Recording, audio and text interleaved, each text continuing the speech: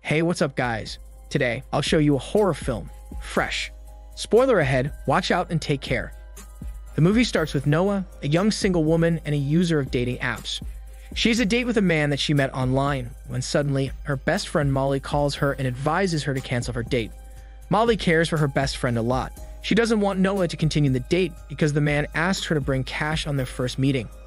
Despite Molly's objections, Noah still tries her luck. But later, she realizes that she should have followed her best friend's advice because the man is a boring, rude racist.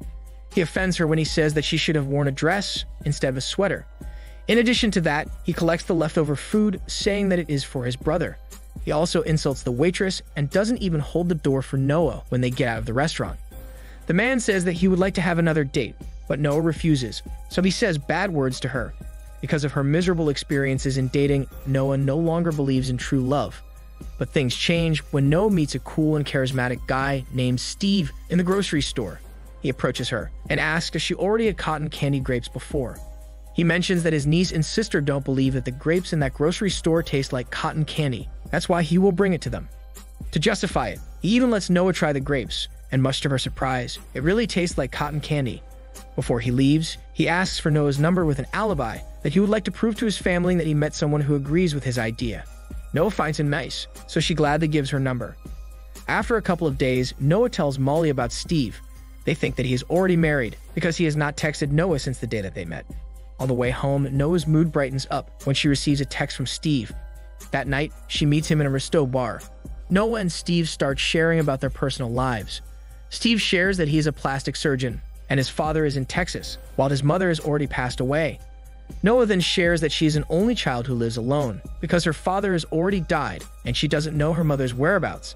Later on, Noah finds out that Steve doesn't have any social media accounts because he prefers the old fashioned way of getting to know a person through letters or personal talks.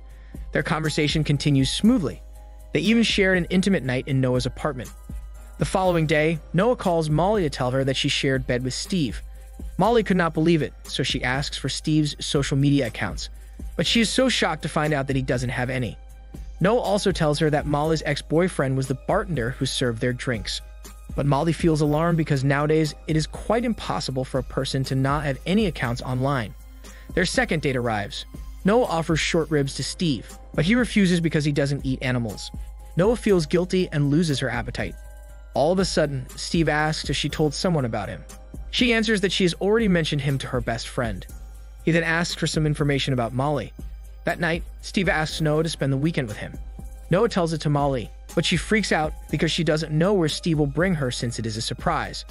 To calm Molly, she sends her Steve's picture and promises that she will update her every now and then. Molly doesn't have any choice but to support her best friend's happiness. The weekend comes, and Steve picks up Noah with an expensive car. He tells her that they will stay first in his house to avoid traffic and will leave early in the morning. Noah looks uneasy, so Steve reveals that their secret destination is Cottage Grove. Noah's mood changes because she really wants to go there.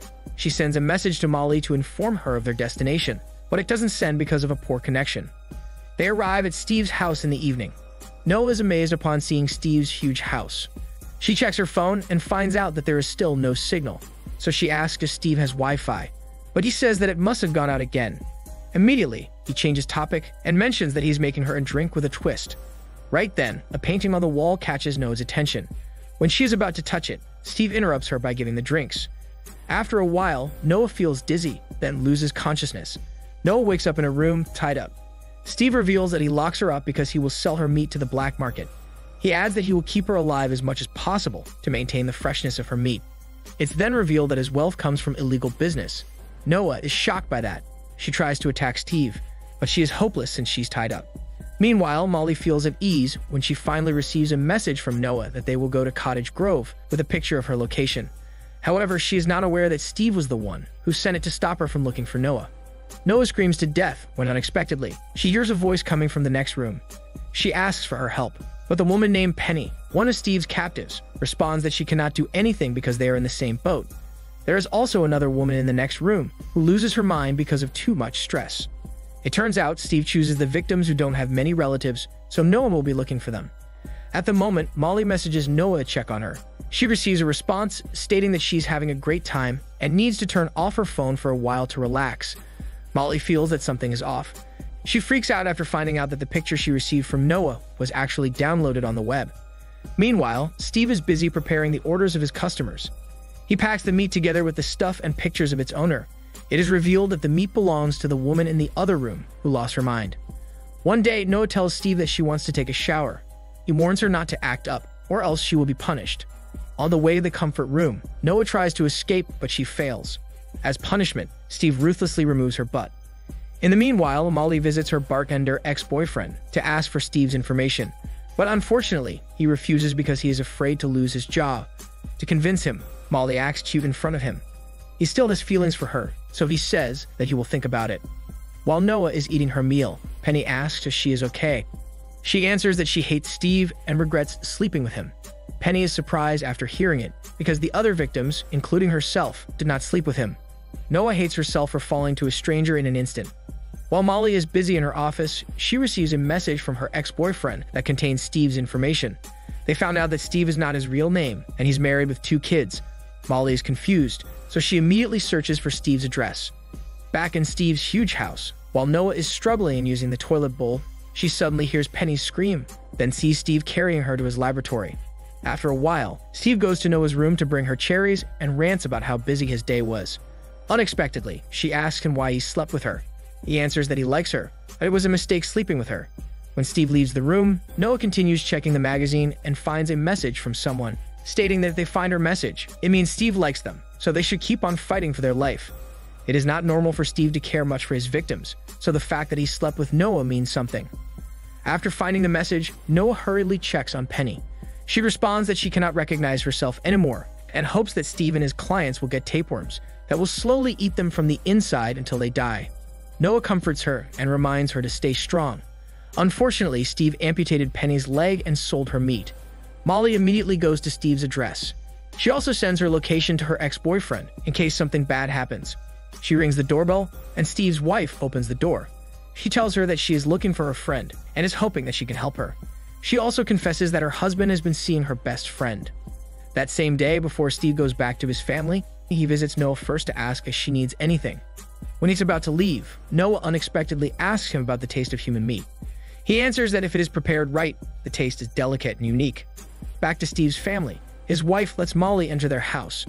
Molly shows her Steve's picture, but she says that she isn't sure if that is her husband, since the face of the man is not clearly seen. Steve arrives after a couple of minutes. Molly asks if he is Steve, but he answers he's not. He then says that she might be looking in the wrong house. When Molly is about to leave, she tries to call Noah's phone, and to her surprise, the phone rings inside Steve's pocket. Steve's wife then hits Molly's head, causing her to lose consciousness. It is revealed that the wife is aware of her husband's secret. Unfortunately, Steve brings Molly into the huge house as a captive. Steve enters Noah's room to ask why she wonders what human meat tastes like. Noah says that she is just curious about it, so Steve invites her for dinner. Noah's plan is to seduce Steve so she can escape. That same day, Steve goes back to his family. It is revealed that his wife is only using a prosthetic because Steve amputated her leg to sell it in the black market. She used to be his victim, but he falls in love with her. She is also the one who wrote the message in the magazine that Noah saw previously. The next day, Steve excitedly prepares the food for his dinner date with Noah. He gets the human meat in the storage, then cooks it. Noah asks when and how he started his business. He answers that he was 19 years old when he first ate human meat. In the beginning, he was horrified, but he eventually craved it, so he looked for people like him and found a community that is devoted to human meat, and that is how his business started. For them, eating human flesh is like becoming one with somebody, which means love. He also adds that his clients only like women's meat because they taste better. When Noah tastes the meat, she sees the people that patronize it. On the plate, an image is seen which symbolizes a satanic group. After the meal, Steve escorts Noah to her room. Before he leaves, he tells Noah that he likes her because they are both miserable. Afterward, he goes to Molly's room, then takes her to the laboratory. In her room, Noah vomits the human meat that she consumed. Penny asks if she's okay and if she heard of the voice of the new victim. Little did she know the new victim is her best friend, Molly. Later on, Steve goes back to Noah's room to ask her for another dinner date. He even gives her a pink dress to wear. As part of the plan, Noah pretends that she enjoys the dinner. Eventually, Steve shows Noah a secret shelf at the back of the painting where he keeps the belongings of his victims. According to him, the clients feel close to the women whenever they touch their stuff. Noah asks where her belongings are, and Steve answers that he's still keeping them. On the shelf, she sees the things and pictures of Penny, the woman who lost her mind, and the woman who wrote the note in the magazine. But then she's shocked to see Molly's phone. Their dinner date continues. Steve prepares breast meat on the table. Noah feels that the meat is from Molly. She tries to keep her composure, but at the end, she still bursts into tears. As an alibi, she says that she feels awful because she doesn't feel any guilt while eating human meat. Steve kisses her while saying that it is okay to be different. Then he removes her handcuff. After a while, Noah asks him to dance. Then they go to the bedroom.